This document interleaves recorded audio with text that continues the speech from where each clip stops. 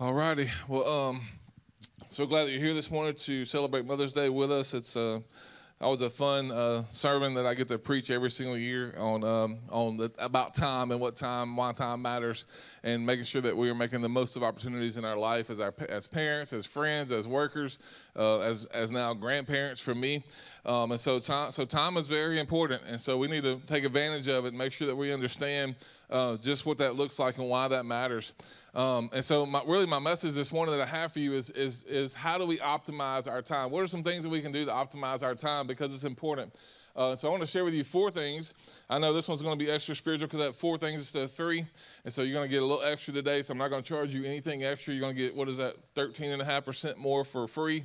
And so take advantage of that. 1995 it was going to cost you, but we're not going to charge you anything. But I do have this word for you this morning that, that I think is important for us to see and understand because when we get a hold of this truth and when we see what God wants us to do with our time, I think it's going to help us uh, take advantage of the future because I think sometimes in our life we don't really realize you just blink and, and I know for me as a, as a parent, you know, I'd hear people say when they were little bitty, you know, our girls are 13 months apart and they would say, man, just wait, you know, just you're gonna you're gonna miss these days one day, and um, and I didn't believe them. 13 months apart. I did not believe anybody. Ain't gonna get a witness in the room that you didn't believe them that you were gonna miss those days. Y'all, y'all, I missed those days. I don't want to go back there. There's a difference. I don't want to go back there, but I do miss those days. I miss the days of when my kids were little, and so I just kind of overlooked some things and didn't take advantage when I should have. And so we have to make sure that we are optimizing our time to make the biggest impact with the time. It's the only thing you can't get back. You can make more money. Uh, you can probably make more friends. Possibly, you got to be friendly. I'm not telling you not to go cut, cut a bunch of cords with people, but I am telling you the one thing you can never get back is time. And so I want to talk to you about that this morning. And we're going to be in Ephesians 5 because we're in this series uh, about Ephesians, a study of Ephesians.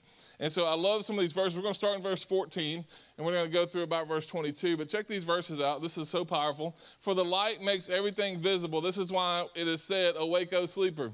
Uh, the song that we sang, the first song that we sang was uh, was a "Wake Up Sleeper," and so I want, I want you to wake up. My, my prayer for you this morning is that this this sermon wakes you up. This message wakes you up. He says, "Awake, O sleeper, rise from the dead, and Christ will give you light." That's so important. Then he says this in verse 15. So.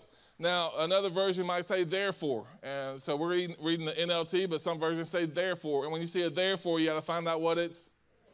All right, got it. You got to find out what it's there for. He says, so, so the Lord's going to give you light. Wake up, O sleeper. I want you to pay attention. Wake up. Uh, I'm not just waking you up so you can just stare at the wall. I want you to wake up and pay attention. Therefore, so be careful how you live. Because God's waking you up, He's saying, be careful how you live. I want you to do something with your life. Be careful how you live. Not like, don't live like fools, but like those who are wise. And so we need to make sure that we are, we are careful about what we do. We want to, we want to optimize our time with each other, with our family, uh, in the church. Uh, listen, I just believe that Jesus is coming back soon, and we want to get you guys equipped and, and, in the right place and with the tools that you need and ready to go do some damage to the kingdom of darkness. That's what we want you to do. That's our, that's our goal for you is to help others encounter Jesus. And the way we do that is not to get everybody in here, but to get you out there serving Him at your job site, on the baseball team, uh, wherever it might, you might, it might find you on the beach in the summer, uh, in, the, in the mountains in the winter, wherever you find yourself coming up in the next six weeks or six months. We want to equip you to go there because not everybody's going to fit in here, obviously. We added 50 chairs six weeks ago, and uh, look around, like those, those, are gone, all right? So we can't get everybody here, but we can get you out there, all right? We can get you out there serving. So it says, therefore, I want you to not, don't live like fools. Be careful how you live. And so the word that I have for you this morning is optimize these opportunities. Here's a word I want you to remember. So this all wrapped around this idea right here. Check this out. Opportunities not optimized become blessings unrealized. When you don't optimize your time, you don't optimize opportunities, you're going to miss some blessings in your life. I can look back now at people that I work with that I didn't optimize my time with them. And, and I'll tell you, they've, they've, God wanted me to pour into them, and I didn't do it. I didn't optimize the opportunity. There are times as a parent that I have missed the target. I have missed the thing that I was supposed to do, that I was supposed to teach. And so instead, I disciplined when I should have been teaching. And so I missed those opportunities. But when we optimize our opportunities, I'm going to give you four ways to do that. Opportunities that aren't optimized become blessings unrealized. Today is a blessing, tomorrow is a blessing. As a parent, I wish somebody would have told me, loosen up.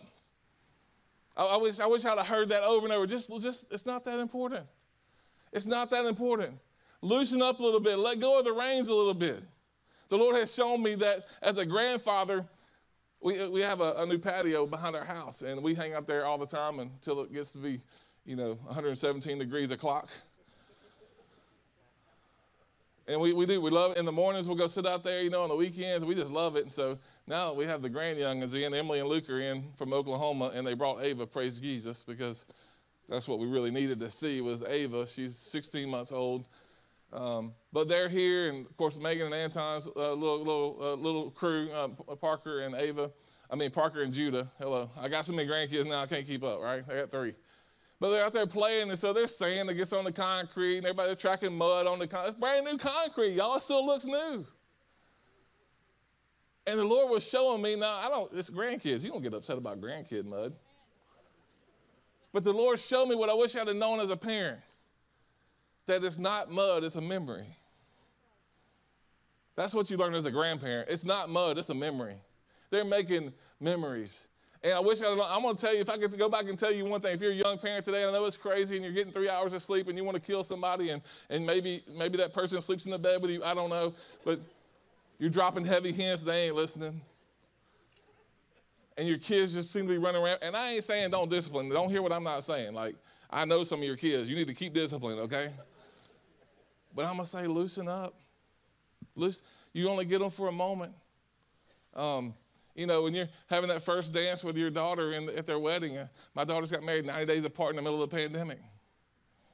I'll say that again for those in the back. They got married 90 days apart in the middle of the pandemic. I thought they loved us. Turns out they loved their husbands more. But that first dance, man, just, that's what got me. Walking down the aisle in that first dance. It's like, you're when they get down to the end of that aisle, you're, you get down there, you're literally giving them away. You only have so much time. So let's optimize our opportunities so that we, they become blessings because if not, they're going to be unrealized. Here's the first thing I want you to do is not just, just to be careful in general, but be careful with the clock. He says, I want you to live carefully. Be careful with the clock. You're going to blink and you're going to be like me and have your 47th birthday yesterday. 47. My, Megan last night, she was like, so how old are you? Are you 50? She used to be my favorite. You just you blink and you turn 47. Y'all, you know how I knew I was 47? I, I, I mowed the grass and I go inside and taking a shower and I literally did this. And I, I actually got a catch right here today. When I cough, it hurts. I pulled a muscle washing my armpit in the shower. Yeah, you just blink and it goes away. It, it, take, be careful with the clock. Put it on the calendar. Put that vacation on the calendar today. If you've been talking about it for three years, go do that thing. Don't borrow money to go do it. Save up for it, but go do it. Put that vacation on the calendar. You're going to create some memories, y'all. You're going to create memories that, that you'll never forget. One of my favorite memories, I'm going to try to get through this without laughing. I got, like, you know, I'm a little behind because of the amazing prayer time that we have, but I'm going to get through this because it's so good we were, we were on a, we rent these um, cabins that are state uh, park cabins, and so they're, they're cheap. And um, when you get them, you realize why they're so cheap. And so we're playing cards late at night, and we're playing spades. And spades has something that not everybody knows about. It's called nil. You can go nil. That means you don't, you don't win any points in that hand. But then they have something called blind nil. And that means you say you're going to get zero before you ever look at your hand. And my sister we don't play with them much because we only play on vacation. And so my wife and my sister are partners. And my wife wanted to make sure that my sister understood those rules and make sure that they had played that way before. And my wife tells my sister Jenny, um, Do you know Blind Neil? and my, my, my sister says, Oh, my sister says, I know a Neil, but he ain't blind. she was dead serious, too.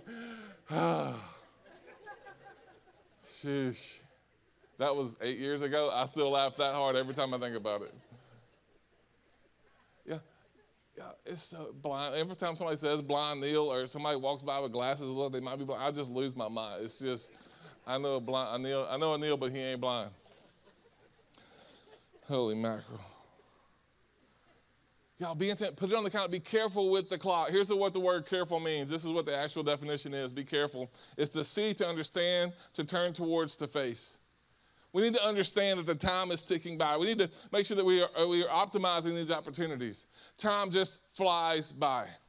Um, and we waste so much time, not even in our life, but scrolling through everybody else's life. Because of this message coming up, I started checking my phone. I started going to the data on it. I started going to settings and looking at the, at the screen time. Y'all, over four hours a day on my phone, over two hours on social media. I'm just being real with y'all. That was an average recently because I, I, just felt like I was getting sucked into it. But here's what I figured out. Here's how the devil, the devil is. Here's what I figured out. I don't get on my phone to get on social media. I get on my phone to answer a text. you can look at that data. You can see why you opened your phone. I opened my phone to get on uh, to, to answer a text or answer a phone call, and then I went to social media. I didn't get on to do it, so it didn't feel like I was doing it, but I was doing it. Y'all, we have to make sure that we are looking at our data. You don't want to. I know you don't want to. I didn't want to do it. But go to settings, go to screen time. If you have an Android, you're probably not on your phone much anyway. but if you have an iPhone, you can go look and see. And you can see where you spend your time. It means to turn towards, to face. You need to face what you're wasting your time on because the devil's going to convince you that it ain't a big deal. It is a big deal. Your kids are growing up in front of you, not even looking at them because you're scrolling through everybody else's kids. Yeah, that was a little heavy. That's all right. You only have so much time and with your kids. And so I'm going to share this morning with you. These jars represent something. So let me give you these numbers real quick. These are the weeks that you have. Every marble that you have, you had a marble when you came in. Every one of these marbles represents a week that you have with your kid from birth. From birth, you have 936 weeks. When they turn, uh, when they turn, well, that had some, got some up in there. those marbles trying to be sneaky. When they turn five years old, you have 676 weeks with them. And then when they turn 13, you have 260 weeks. And then when they turn uh, 16, you have 104 weeks with them. This is how fast the time goes by. It doesn't, I'm telling you, you just blink and it happens. So every one of these weeks represents something. It represents a week that you spent focused on your kid, avoiding your kid, um, working while your kid was at ball games. Y'all, I'm not telling that you can't. You gotta. You gotta work. You you have to buy the uniform for them to go. I get it. I'm not trying to put that on you where you just gotta follow your kid around for the next six weeks and never just miss a minute. That's not what I'm saying. It'd be a little weird. You sitting next to them in the fourth grade. That's weird. All right. But you gotta you gotta spend your time wisely. Some people don't. It reminds me about the guy that him and his buddy went play golf every single Friday. Didn't miss a day. Every Friday play golf. And one day they teed up first hole and they're doing well. And by the time they got to the third hole, um, they they this third hole is about a par four, about a you know 400 yard par four, goes down the side of a highway, and he, the guy goes to line up and he stops, and he takes his hat off and he puts his hat over his heart, and the funeral passes by. And so his buddy thought, man, I've never seen him do that before. He's really respecting people today. This is so cool. So they he didn't say nothing about it. So the guy hits the ball, and so they get on down about to the ninth hole. So finally the buddy goes, I just gotta ask him. I gotta find out what in the world that was about. Like I've never seen him do that ever. He said, Man, I just gotta ask you, dude. You just took that time to honor. You took that time to honor that funeral that passed by. I just, I just, I just had to, I had to say something because it was just so different from you. Like, I've never seen you do that before. He said, Well, I was married to her for 38 years, so it's the least I could do. Some people don't spend their time wisely, all right? And our time just fades by so fast. Look at what Psalms 39, 4 and 5 says. Lord, remind me how brief my time on earth will be. Remind me that my days are numbered, how fleeting my life is. He says, I want you to remind me, and that means to reveal. I want you to reveal to me just how fast my time is getting by, just how fast my life is flashing in front of me. Look at the next verse, verse 5. You have made my life no longer than the width of my hand. My entire lifetime is just a moment to you. At best, each of us has but a breath. Interlude. And it says, we're going to take a breather right here. Y'all, y'all, we are, we are, some of us wasting our life away. We are wasting our time. Uh, the data is out, y'all, and I realize that I ain't much different than the average person. I am now because I'm getting off of it. But check this out. Look at this stat. The average person spends four and a half hours a day on their phone each day. Each day, four and a half hours of your life being spent. Be careful with the clock. I'm going to challenge you with that. You're going to blink, today's going to be gone. You're going to blink, tomorrow's going to be gone. Be careful with the clock. All these days and weeks, they matter, they add up. Here's the second thing I want to give you not only just to be careful with the clock, but be intentional with relationships. Be intentional. When you're careful with the clock, you're going to be intentional with relationships. You're going to optimize those opportunities. Be intentional with your relationship. Spend some time when you're with your kid. If you go hunting or fishing or hanging out or go to, like, try to get them to say something. If you have a teenager, that's going to be real hard to do. They want to just sit there and stare at you. Tell them to keep their phone in the vehicle. Y'all just sit there and look at each other. It's weird. But they'll talk eventually. They'll say something. Get them to say, get them to be intentional with your relationship with your kids, with your spouse, with your coworkers. Be intentional with your relationships. Look at verse 16 in the same passage of Ephesians 5. Make the most of every opportunity in these evil days. And that, that what we've been talking about, optimizing our opportunities. So it says make the most of every single opportunity. I love the way Amplify Amplified Version says it. It says make the very most of the time buying up each opportunity.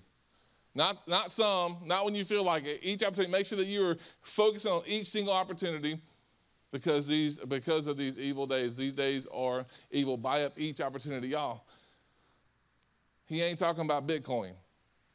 The opportunities he's talking about is not business opportunities. He's talking about relationships here. There won't be Bitcoin in heaven, but there will be relationship equity that you build here today will end up in heaven one day.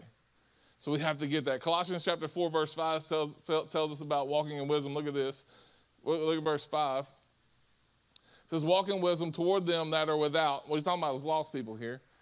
Walk in wisdom with those that don't know Jesus, who don't come to church really, that, that, that say that it's all a phony, there's no point in you even going to church, religion is crazy, it's stupid. So walk in wisdom with those that are without, so lost people, redeeming the time. So I want you to make sure you're redeeming the time. And then look at the next verse, verse 6. Let your speech be always with grace, seasoned with salt, that you may know how you ought to answer every man. Let your speech be always with grace. You know what he's saying? Make the most of your opportunities. Make the most of your relationships. Like be intentional with your relationships. Make sure that you are you're always speaking with grace around people and with people. Be gentle with them. Man, they don't need you to be harsh. Sometimes they might, sometimes they might feel like you're being harsh and you're just trying to be gentle. Love them with the love of Jesus. So he says, I want you to, I want you to always have grace with these people because I want you to optimize every opportunity. Which leads us to my third point that we need to do if we're going to optimize opportunities, and that's this be helpful with your words. If you want to do these things, if you really want to make a difference in somebody's life, be helpful with the words that you speak. Speak life over some people. Pour positivity into people. The world ain't going to give it to them, the world's going to beat them up. And each week that you spend with people, you are actually optimizing opportunities and you are saying, This week matters and this week matters, and this week matters. And time over time, if you begin to pour positivity into people and be careful with your calendar, all of a sudden you're making a life that's going to make a difference. And don't hear what I'm not saying. If the devil's lying to you right now and say, well, you've wasted it. Your kids are grown and gone. You can still be that dad. You can still be that grandfather. It is not too late. My kids are 25, 24, and 19. It's not too late for me to be the father that God called me to be. Because they're still my kids, and I'm still their father like pour into them. Be positive. The world's beating them up. Be positive with them and watch what God does in that situation. Look at Proverbs uh, 10 19. I love this verse. When there are many words, sin is unavoidable. So I'm not saying to talk just to talk. I'm not saying just to make stuff up and start talking just to talk, but the one who controls his lips is prudent. I love the word prudent. One of my favorite words. In fact, the Bible tells us in the book of Proverbs that, that wisdom and prudence are roommates. So to be prudent, you might say, well, I don't even know what that word means. Let me just give it to you. I'm glad you asked. Here it is. Check it out. Prudence is the ability to govern and discipline oneself. Do we need prudence today? And the evidence of prudence is on somebody's lips. You know if somebody has self control? Let's listen to what they say, listen to how they act. Be prudent, be prudent, be prudent. When we have prudence in our life, it's going to show up in other people's lives. Words matter. How you speak matters. What you say matters. Look at Proverbs 15 4 in the message version. Kind words heal and help, and cutting words wound and maim. Kind words heal and help. How long has it been since you spoke a kind word over somebody? Here's a, here's a question for you today Are your words kind or cutting? What kind of words are you speaking of your kids, over your spouse? I'm telling you right now the world is tearing them alive. They are tearing them up with their words. In fact, the data is out. This is kind of old data, but it's probably worse now. Uh, our kids hear seven negative words for every positive one. For every one positive word you're telling them, they're hearing seven negative from the world. Our job is to offset that number. The Bible says that death and life are in the power of the tongue. Listen, be helpful with your words that you speak. When you speak, speak life. You want to make the most of these marbles? Speak life over somebody. Be careful with that calendar. Be careful with that clock. And be intentional with relationships. And watch what God does. Here's the last thing I want to tell you about how to do this if you want to optimize this time because these marbles are flying by. We gave you one when you came in just to remind you. So I hope that you'll put that, you know, on your rearview mirror or, you know, put it in your car somewhere, keep it in your pocket, whatever you want to do. Just take it out before your wife washes your clothes. But let it remind you that you just spent a week with your kid, with your family, and there won't be a whole lot left. You're going to blink, and those weeks are, they're going to be gone. There's a there's a meme that's going around that says uh, it's kind of sad, but it says that you never realize the last time you played with your friend in the neighborhood.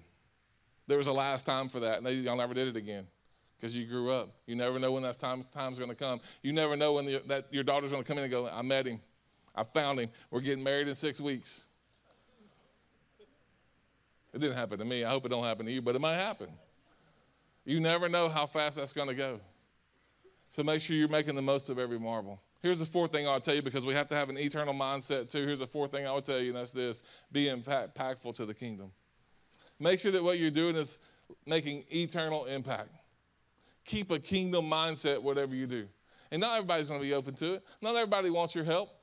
I learned that this week. I was on the way out of town. I was going to a little retreat center for a couple of nights. Uh, should clarify that. I was going to get some rest. Okay, I'm not. Okay, let's leave it right there. Um, I was going to this little retreat place. This is like up in the mountains. And, I mean, in the mountains. Hello, in the woods.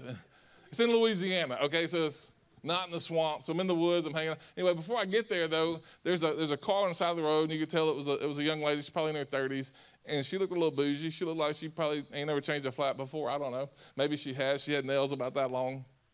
And so as I passed her, because it was kind of like 45 or 50 miles an hour, I realized it was a lady as I was passing. I thought, if that was my daughter, man, I, I can't just let her sit there and, you know, like she was struggling. I mean, she was trying to get on that. Uh, tire tool. And so anyway, I passed up. It was four lanes. So I had to pass her up and come back, but I had to pass her again.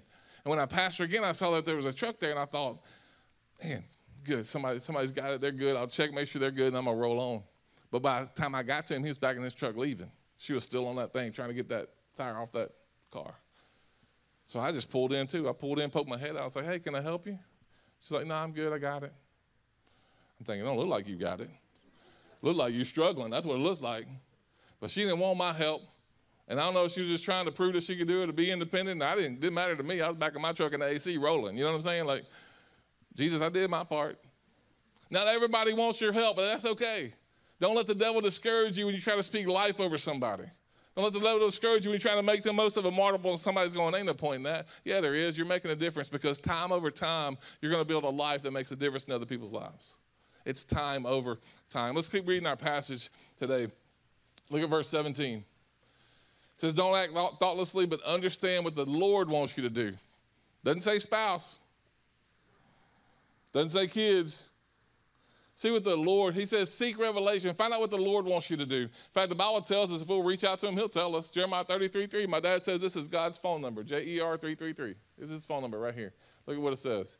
It says, Call to me and I will answer you, and I will tell you great and unsearchable things that you don't know saying Google can't even figure it out. God will tell you. It's unsearchable. You can't even search it. He'll show you some stuff that you don't know, stuff that you can't even Google, because He wants you to have an impactful life that makes a difference in those around you. Look at verse 18 back in Ephesians 5. Don't be drunk with wine, but, but because that'll ruin your life. We talked about that a couple of weeks ago. Instead, be filled with the Holy Spirit. In Acts, he says, I want you to wait until the Holy Spirit shows up, and then you'll be endued with power from on high. The Spirit is what brings the power. Wait be filled, and then go. That's eternal impact. Eternal impact. Make sure you're making an impact in eternity. Look at verse 19. He keeps telling us what we should be doing. Look at this. I love this. Singing psalms and hymns and spiritual songs among yourselves and making music to the Lord in your hearts. Some of y'all can't sing, and that's okay. You know how I know? I stand out there with y'all. That's how I know. Some of y'all just like, oh, that's an angel singing behind me the Lord hears something different. The Lord hears praise. He, he, he smells something that smells great to him. Man, I love a person that just worships all the time. Eric Stevens, I got to talk about you, brother. Eric came to my house one day to help me with some plumbing, and it was literally freezing outside. It was almost sleeting. It was so cold, and the leak was outside. And so I'm working on neck deep, muddy, and nasty. After two days of trying, I'm just finally reached out to Eric and said, "Hey, uh, I need just some pointers. You don't have to come." I knew he was coming. I may or may not have known that when I called you. He shows up. It's it is so cold outside. I'm, I'm freezing. And he starts working. It's a little bit of a headache. He starts working, and and as he's working, I start hearing a little something. I'm just like, what's that? Somebody got their radio on. I'm like, no, that's Eric. You didn't sound like a radio, by the way. But it was sweet to the Lord. Y'all, he was worshiping as he was walking back and forth. You know why? He wasn't helping me, he was doing kingdom work. He was singing and making music in his heart to the Lord. And that touched me, man. That was two or three years ago during that big freeze we had. And that touched me. He's worshiping in the freezing cold rain. He probably knew I was to buy a mistake for it, but he you don't want anything. Just just worshiping. Just just worship, making music in his heart. He was making the most of that marble. Look at what else it tells us to do. Give thanks in everything. Give thanks in everything. For this is God's will for your life. This is what I want you to do. I want you to give thanks in everything. Uh, look at 1 Thessalonians 5. I love these are powerful verses right here. Three verses. Rejoice always. That's a verse. Pray continually. That's a verse.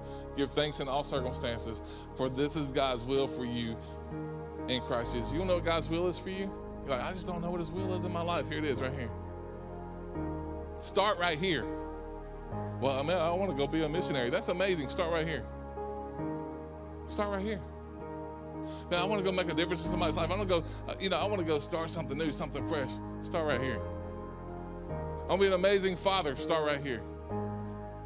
You just start right here. Rejoice always, pray continually, and give thanks in all circumstances, for this is God's will for your life.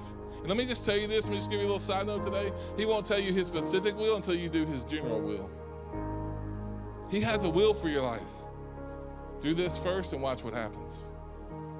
We need to make the most of our opportunities because we're going to look up one day and this big old jar with 936 marbles in it. It's, it's, it's just, it's fleeting. And every single week that passes by, and y'all, I'm a pastor, and I say this all the time, but Sunday comes around every three days. Because we just blink, and another week's gone. And we blink, and another week's gone. And we blink, and another week's gone. And every single week that we spend with our family and with our with our friends, it's one week we're not gonna have again. And we're gonna look up one day and this these marbles, and this is how fast it goes, y'all. I'm a grandparent now. I'm telling you from a fact, it goes this fast. And you look up and you, you have a handful left. Maybe there's 16, going on 17. And you blink, and a few more are gone. And a few more are gone and they get into middle school and a few more are gone. And they get into high school and you just blink and after high school, you look up, your kid's 18, they're ready to move out. And all your marbles are gone. We just blink and it's gone. The Bible says our, our life is but a breath, but a moment, and it's gone. We have to make the most of our time. Let me just give you a word to close off this, this message, and it's this. You won't make the most of the time if you don't make the most of this time. Won't make the most of the time until you make the most of this time. Today, this month, May, June, put it on the calendar. Go on that vacation. Do that thing you've been promising you were going to do. Because you're going to blink, you're going to look up one day, and it's all going to be gone. And I'm saying this today to encourage you. Keep that marble in your pocket and remind yourself I got to make the most of this week. I got to make the most of this week because you won't get that time back again. Let's do that. Let's do these four things and watch God change the way we treat our calendars and our clocks. And He'll change your family forever. But you got to be obedient. Take these steps.